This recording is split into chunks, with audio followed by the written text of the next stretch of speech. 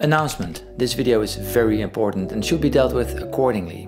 It's highly scientific and all tests are done in a controlled environment. This is premium content. Dude, obviously it's not science, it's just a fun little experiment. But I'm excited to hear what you think. Let's jump right into it.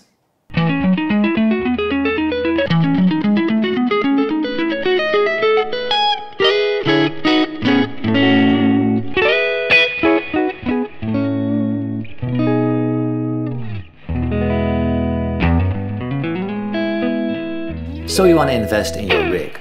Money is limited, but you really want to bring it to the next level. What do you choose? Expensive guitar or expensive amp? Yeah. I choose the guitar. It's what's in your hand and most connected to your playing. Nope. I'd most certainly choose the expensive amp. It's what you end up hearing, and if it sounds good, it is good. Okay, there is something to say for both, but there's only one way to find out what's best. Comparison. Comparison.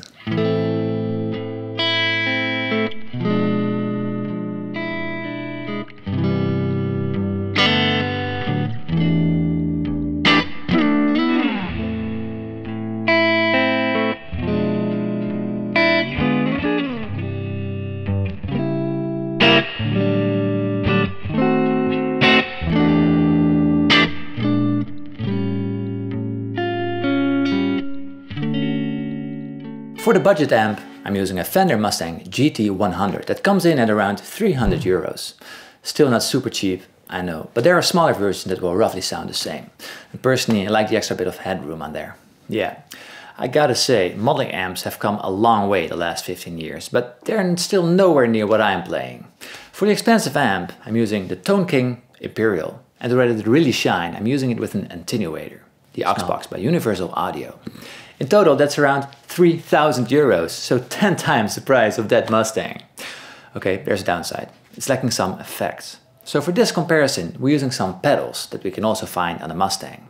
Here is the overdrive, the fabled Klon KTR. Yeah, which is also on this amp, but it's called the Mythic Drive. Let's see how it compares.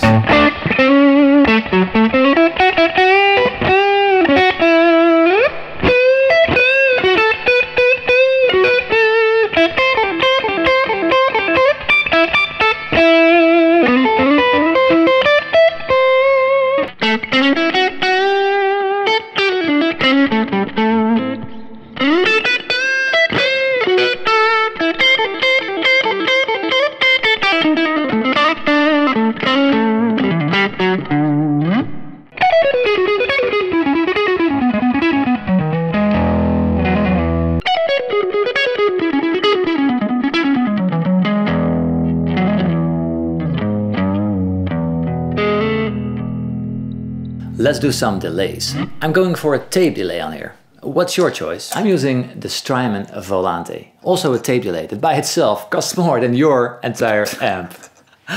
well, you don't scare me. You don't scare me. Okay, let's hear it.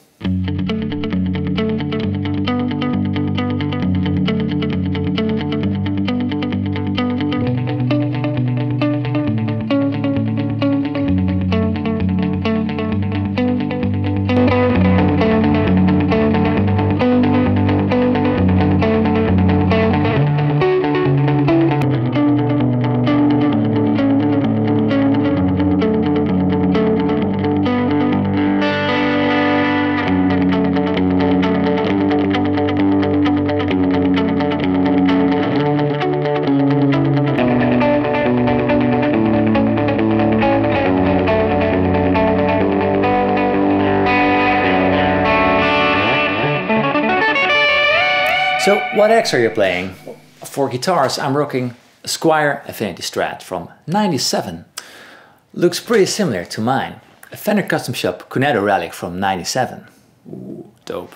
Now let's do another example, but crank the gain on the overdrive.